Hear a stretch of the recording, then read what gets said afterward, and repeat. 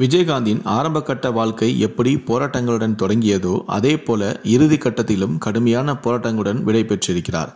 அவரின் ஆன்மா சாந்தி அடணும் அப்படின்னு நினைக்கிறவங்க இந்த வீடியோக்கு ஒரு லைக் கொடுத்துட்டு தொடர்ந்து இந்த வீடியோவை பாருங்க. சட்டமன்றத்தில் ஜெயலலிதாவுடன் மோதல் கை கொடுக்காத இரண்டாயிரத்தி பதினாறு மக்கள் நல கூட்டணி தொடர்ச்சியான வாக்கு வங்கி சரிவு என அரசியல் களம் அவரை கொஞ்சம் கொஞ்சமாக கைவிட்டது. அதே நேரத்தில் உடல்நலமும் அவருடைய கட்டுப்பாட்டை இழந்தது. ஒரு கட்டத்தில் தீவிர மருத்துவ சிகிச்சை இவருக்கு தேவைப்பட்டது.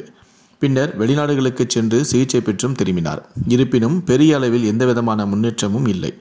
நாளுக்கு நாள் உடல் பலவீனமடைந்து கொண்டே இருந்தது. இப்படி இருக்கையில் கடந்த மாதம் பதினெட்டாம் தேதி சென்னை நந்தம்பாக்கத்தில் உள்ள மியாட் மருத்துவமனையில் விஜயகாந்த் அனுமதிக்கப்பட்டார்.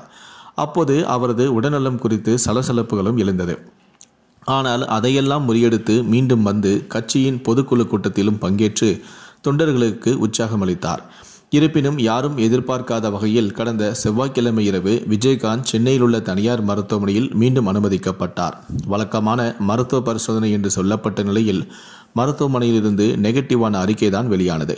அவருக்கு கொரோனா தொற்று இருப்பதாகவும் உறுதியானது. அதாவது அவரது உடல்நிலை மோசமாக இருப்பதாகவும் அதிலிருந்து அவரை மீட்க மருத்துவர்கள் போராடுவதாகவும் தெரிவிக்கப்பட்டிருந்தது. இதையடுத்து நேற்று முன்தினம் அதிகாலை அவர் உயிரிழந்து விட்டதாக அறிக்கையும் வெளியானது. இதை கேட்டு தமிழகம் முழுவதும் ஏராளமான தொண்டர்கள் கதறி அழுதனர்.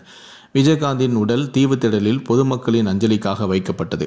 ரஜினி கமல் என திரையுலகை சேர்ந்த பெரும்பாலான நட்சத்திரங்கள் நேரில் வந்து அவருக்கு அஞ்சலியும் செலுத்தினர். அதே போல பல அரசியல் கட்சி தலைவர்களும் நேரில் வந்து அஞ்சலி செலுத்தினர். கிட்டத்தட்ட இருபது லட்சத்திற்கும் மேற்பட்ட மக்கள் அவருக்கு நேரில் வந்து அஞ்சலியும் செலுத்தியிருந்தனர். இதையடுத்து அவரது உடலானது தீவுத்திடலிலிருந்து ஊர்வலமாக கொண்டு செல்லப்பட்டு கோயம்படியில் உள்ள தேமுதிக அலுவலகத்தில் நேற்று அவருடைய உடலானது நல்லடக்கமும் செய்யப்பட்டது.